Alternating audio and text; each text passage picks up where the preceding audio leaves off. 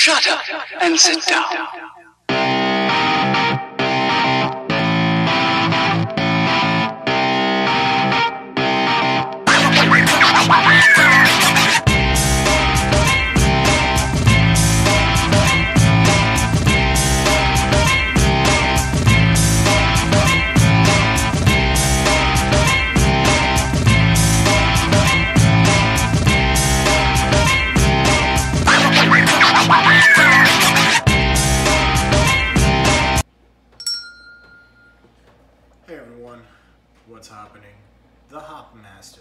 Coming at you from the man cave again with another beer review.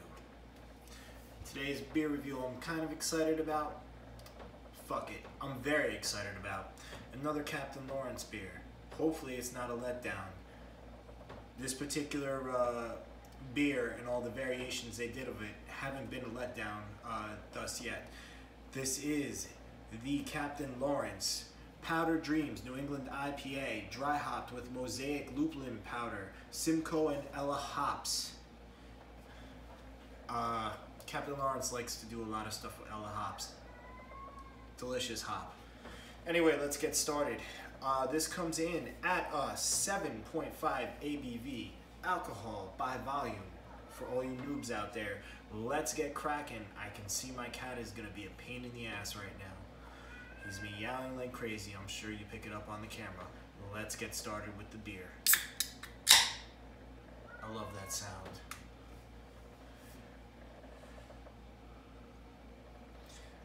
Got a nice pour going on here. See what we got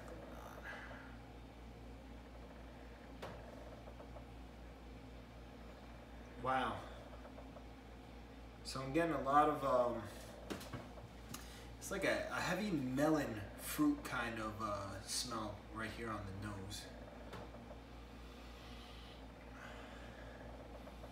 Yeah, uh, a lot of heavy fruit, maybe some kind of papaya or passion, but I'm definitely getting like a melon. Yep, a lot of melon in here. Melon tropical fruit.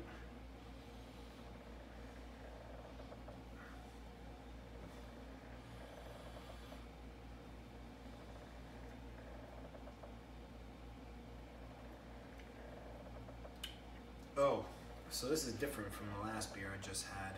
Um, it's got a heavier taste to it.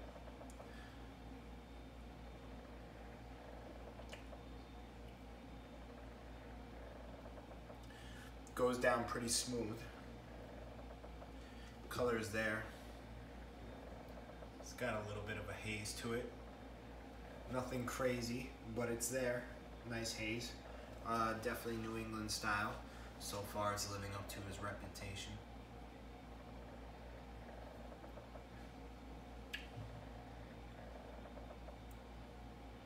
Not bad at all. It's got a decent, clean bitterness to it. The smell is more intriguing than anything else I'd say on this beer.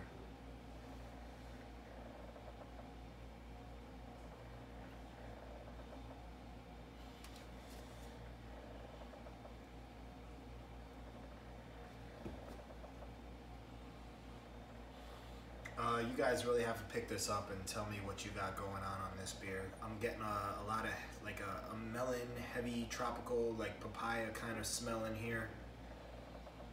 Um, I'm thinking this is definitely coming from the Ella hops. I've had something similar like this. Uh, they had one called Shades uh, that came out maybe about a year or so ago, Captain Lawrence, and I'm getting uh, particular uh, familiar smells from there.